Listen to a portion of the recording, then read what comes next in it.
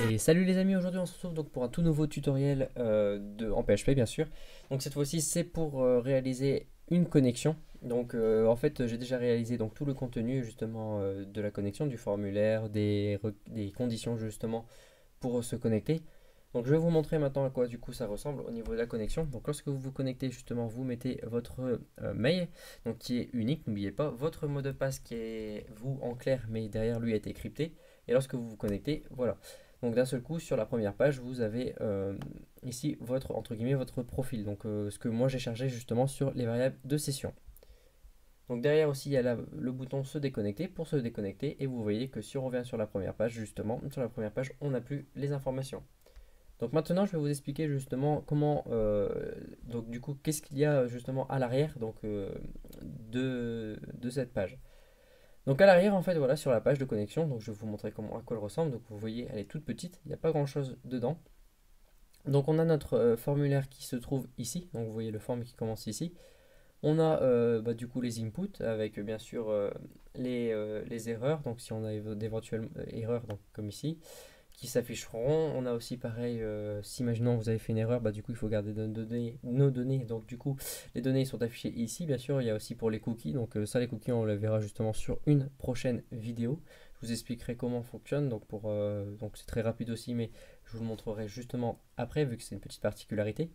On a le mot de passe bien sûr qui est ici aussi et à la fin on a notre bouton de connexion qui est ici.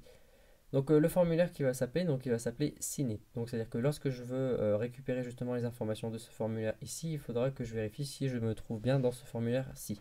Donc lorsqu'on va envoyer, on va envoyer justement une méthode post. Donc euh, au niveau de la méthode post, en fait derrière, on va bien vérifier si on a des informations dans cette méthode. Sinon, bah, ce que ça fait, ça affiche justement la page comme ça en clair. Ça veut dire qu'on n'a rien envoyé. Si on a des informations, eh bien, on va les extraire. On initialise justement la variable valide à vrai. Donc c'est-à-dire que si euh, tout est OK, toutes les conditions sont OK, alors on va bien faire euh, la fin, parce que nous on nous attend donc la connexion. Dedans on va bien vérifier si on se trouve bien dans le formulaire justement que je vous avais dit SINIT. Donc c'est-à-dire si on a deux formulaires et qu'on se trouve dans pour bien se positionner justement si on est dans le premier ou deuxième formulaire. Donc là il n'y en a qu'un, mais je l'ai nommé SINI. Et euh, dedans, on va récupérer justement les deux informations utiles, donc le mail et le mot de passe. Donc ce que j'ai fait, c'est que dans le mail aussi, j'enlève justement les espaces avant et après du mail. Je mets tout en miniature au niveau du mail, c'est-à-dire que si la personne a mis une lettre en majuscule ou autre, je remets tout en miniature forcément parce qu'un mail c'est toujours en miniature. Et je fais HTML entity au cas où pour de la sécurité. Donc pareil au niveau du mot de passe, donc là ce que je fais c'est je fais juste le trim et l'HTML, vu que là par contre la personne est autorisée à mettre des majuscules, minuscules, est-ce qu'elle veut. D'ailleurs on va bien vérifier si le mail et le mot de passe sont bien renseignés par précaution.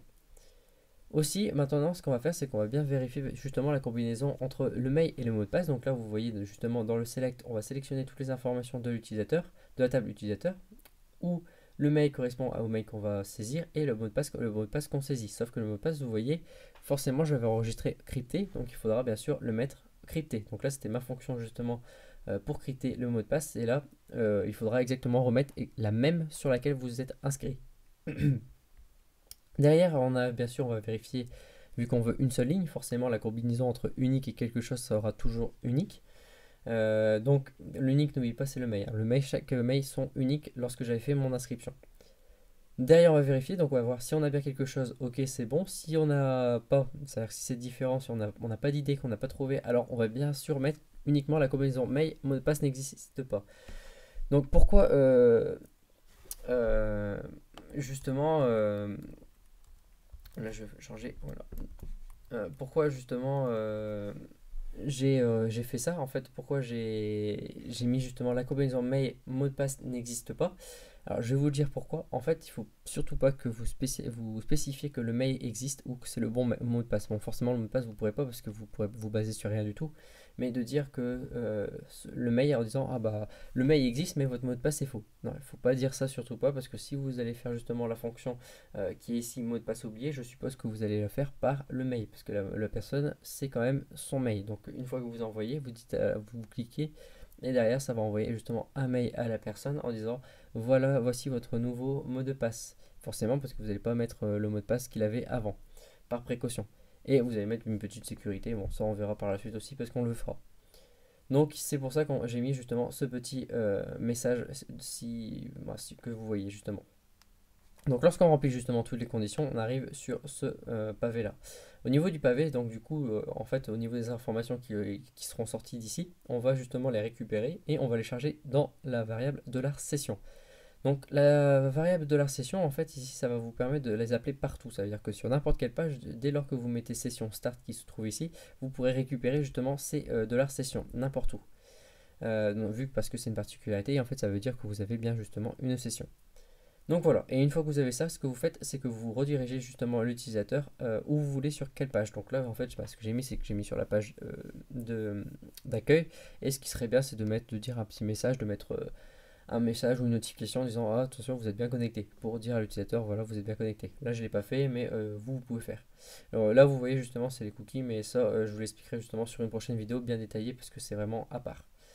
Donc voilà, on arrive justement sur la fin des explications de ce tutoriel euh, que vous voyez ici au niveau de la connexion. Vous voyez, c'est très très simple, comme je vous l'avais dit. Donc on a, la, on a la session, on arrive ici, hop, et voilà, on est connecté. Bon, bien sûr, vous ne pourrez plus revenir sur la voilà, de connexion. Pourquoi? Parce qu'en fait, j'ai mis une sécurité aussi, donc qui se trouve tout en haut ici, en disant que si vous avez une session, vous n'allez plus forcément vous reloguer. Ce qui est logique. Pareil, on ne va pas se réinscrire lorsqu'on est connecté. Forcément, on s'est connecté, c'est qu'on s'est inscrit. Donc voilà, donc on a euh, maintenant, vous voyez, euh, on a enfin, je euh, la page pour se connecter. Et maintenant, en fait, on va voir comment on se déconnecte aussi dans la foulée. Donc pour se déconnecter, c'est vraiment, vraiment super simple. Donc vous, bien sûr, vous mettez que votre session est démarrée. Donc au niveau de votre session, une fois qu'elle est démarrée, ce que vous faites, c'est que vous détruisez justement cette session. Donc vous allez détruire tout ce qu'il y avait dans votre session. Donc c'est-à-dire que toutes vos variables qui étaient de underscore session, hop, tout va être vidé, tout va être détruit et vous redirigez justement l'utilisateur vers euh, la page que vous souhaitez. Donc là, c'est encore ma page d'accueil. Donc voilà. Et là, vous voyez que justement, la page d'accueil, ça a changé. On a bien sûr s'inscrire et se connecter et on n'a plus les informations qui apparaissaient ici. Donc voilà, on arrive justement à la fin de ce tutoriel. Donc bah, j'espère que ça vous a plu. N'hésitez pas à lâcher un petit pouce bleu euh, si bah, ça vous a été utile justement. Et euh, moi, ce que je vous dis, c'est qu'on se retrouve sur une prochaine vidéo. Allez, à plus